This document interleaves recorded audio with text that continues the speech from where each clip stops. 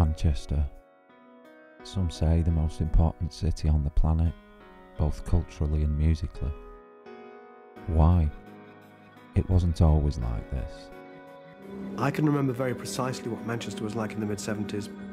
It felt like a piece of history that had been spat out. And instantly, he was like, he couldn't do enough for me because I'd brought a TV personality into his horrible little co-op ballroom in Rusholme. The thing about Tony was uh, he had a little spot. He'd convince the producers of the programme on Friday to let him have a spot where he has one live act on. One of the band, just before they went to soundcheck, asked Tony if he'd skin up for them. And Tony, in later years, used to make a great deal about being able to do it one-handed while he was driving.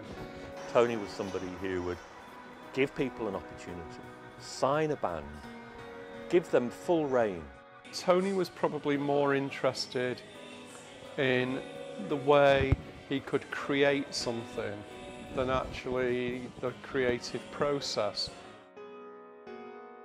The reason so many students and lovers of music descend upon this city is because of what one man did for Manchester throughout the course of his life.